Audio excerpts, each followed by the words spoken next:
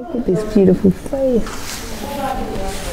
Okay, so behind us we have some rescued dairy calves and these are the lucky ones, but tomorrow we're going to a dairy farm to see the ones that are still suffering and still enslaved. Okay, so we're just out the front of a dairy farm here in Israel. We're, we're here to meet Tal Gilboa and, we, and her boyfriend and we're going to do some documenting of the animals inside. So how do we avoid it? Just put. I walk like this. a lot of Don't don't be with the camera always like this. Okay. Okay? This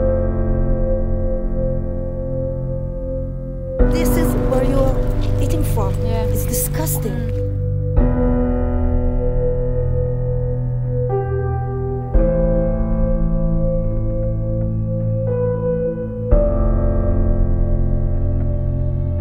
So this is like a big prison of suffering. You can feel the energy in here, just sad, separated families and despair and there's just no hope in here.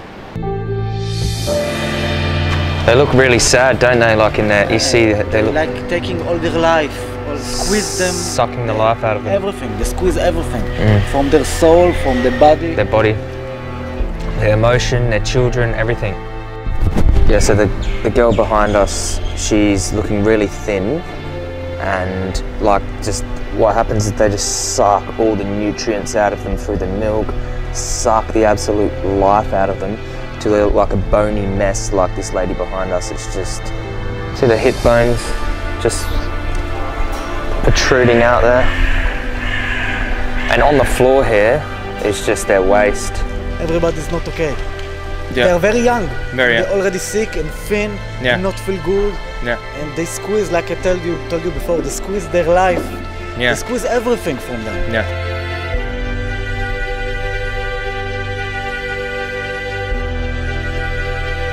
Okay, so this is the milking parlor.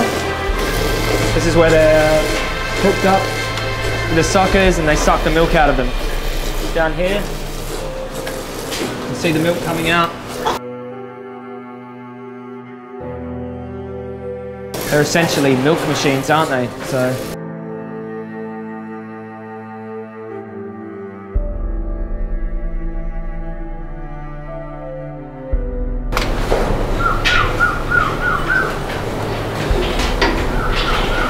So as you can see, all of her legs, there's feces all over it. Feces all over her hooves, feces all over her legs, feces all under here, all under here, all feces. So on the udder, there's also feces. And this is how you get feces in the milk because there's feces all over the animals.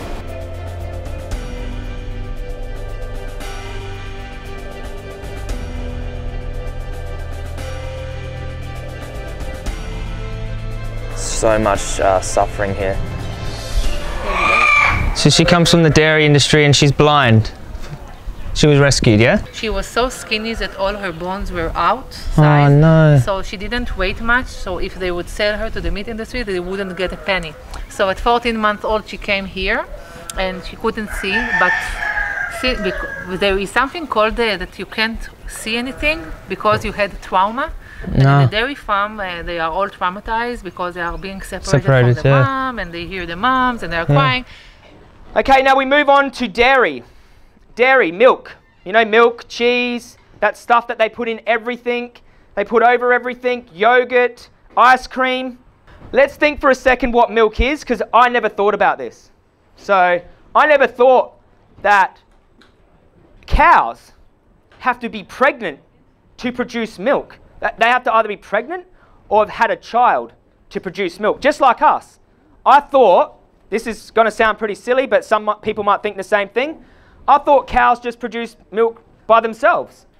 I thought that's what they were here for. They just, they just produced milk. No, there's a process. There is a process.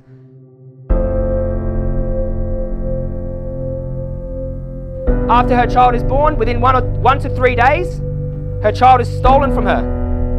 Across the board, every dairy, every dairy farm, you take me right now to the most humane dairy farm in Israel. You think green, green grass, and they take all of their children off of these cows. All right, so in here we have the two calves here, and they've been taken from their mothers over here. put in this crate, they'll be wheeled out somewhere, they'll be taken to isolation and they'll be separated. Over here you can hear the mothers bellowing out for their children.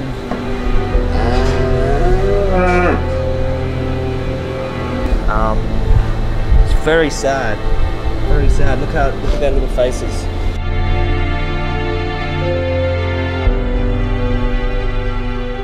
Still wet. They're still wet. They're only they're only newborns.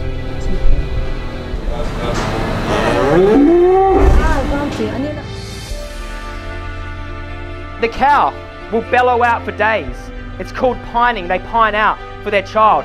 And their children are only sometimes 50 meters away, very close.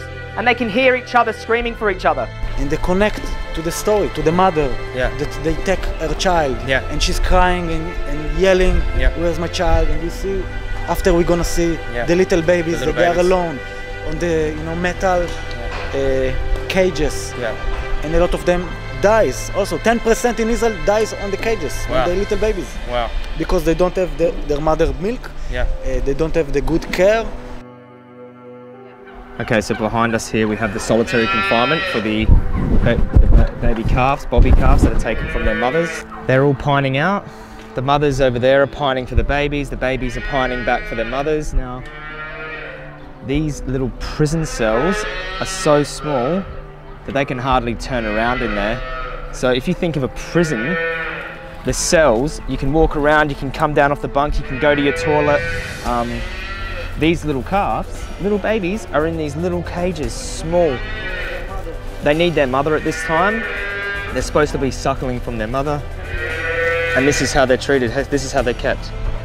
All dairy farms across the board, not just in Israel, all dairy farms take children away from mothers just so we can take the milk that was meant for them.